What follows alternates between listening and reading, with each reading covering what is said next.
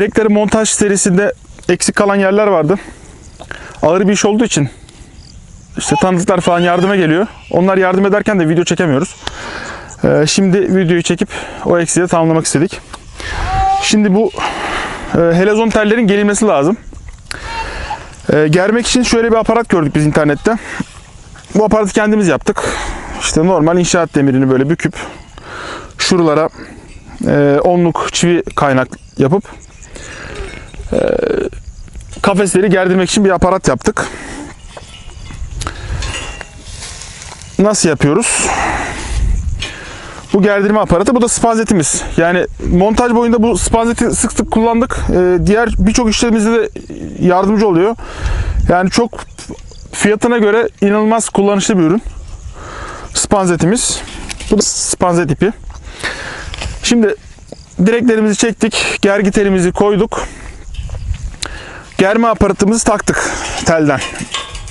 Tellerimizi açtık birbirine güzelce bağladık. İşte 40 metre yapacaksak, iki, iki top tel birden yapacaksak tellerimizi bağladık birbirimize. Yani helezon tellerden bahsediyorum. Helezon telleri birbirinize bağladık.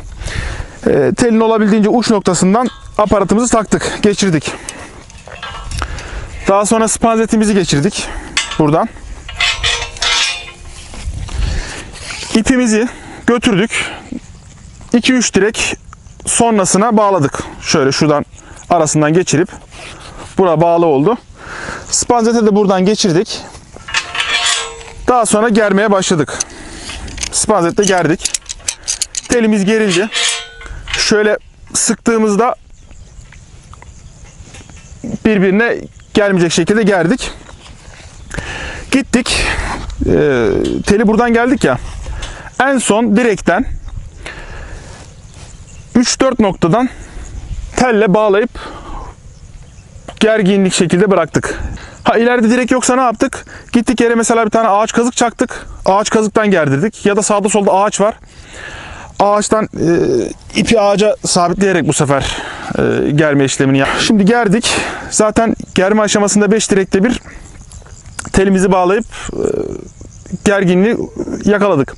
Daha sonra her direkte de en az 3 noktadan bağladık. Daha sonra da bu gergi teline biz iki noktada bir bağladık. Her telden iki noktada bir bağladık. Ama ne kadar fazla olursa o kadar iyi. Şuralardan bağlayınca da mesela böyle itseniz bile aynı duvar gibi sağlam kalıyor.